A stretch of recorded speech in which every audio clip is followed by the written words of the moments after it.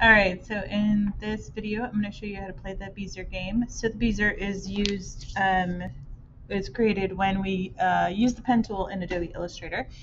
Um, so what you're going to do is you are going to follow the line with your pen tool. So the first one's pretty easy. So you're going to click on this blue flashing dot. So just click one time and it tells you you have two nodes remaining. So those nodules or nodes, those are the points that you create. Okay, so you just click. Now the next one tells you that you need to use shift. All right, so shift allows you to make a straight line. So I'm going to click, hold shift, click, click, click. So everywhere there's a point or a nodule, you will click, okay, and that's going to make your straight line. All right, the next one, we're going to pull a curve. So what you're going to do is you're going to, and you can watch it, how it does it um, as many times as you need. Um, to watch it again, you can uh, let's see, I know there's a way to rewatch it. So just follow along. So click and drag. So click, hold the click and drag up. This is called pulling a curve. So click and drag, click on the nodule and drag. If it's not right, it'll do that. So you kind of want to be inside that circle.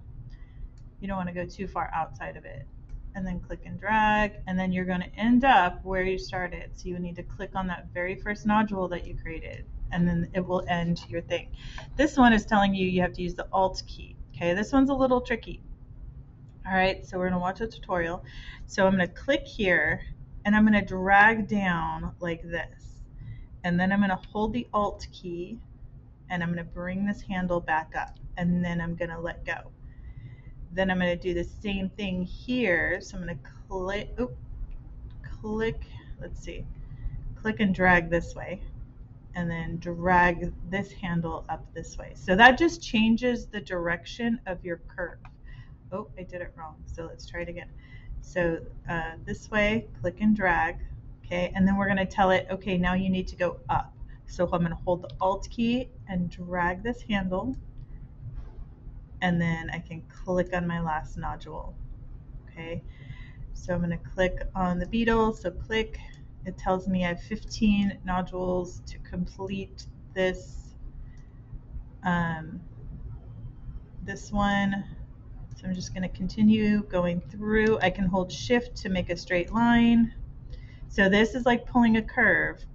So click and drag in the center you're going to go about halfway through the tire or the wheel.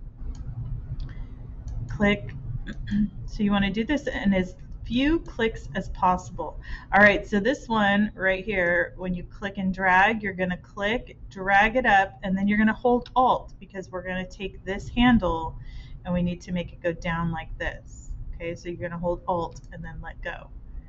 Oh, didn't work, so let's try it again. So I'm going to click and drag down see. Make sure it's fitting inside the line. Click and drag, and then click right here.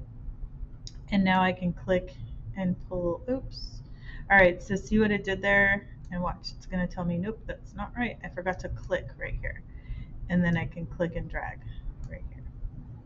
Okay, so it tells me that the ideal solution has nine nodes. Um, I think you can do better. Try again. You can try again, but I think I did pretty good. That's like the average of what I get on this one is 14.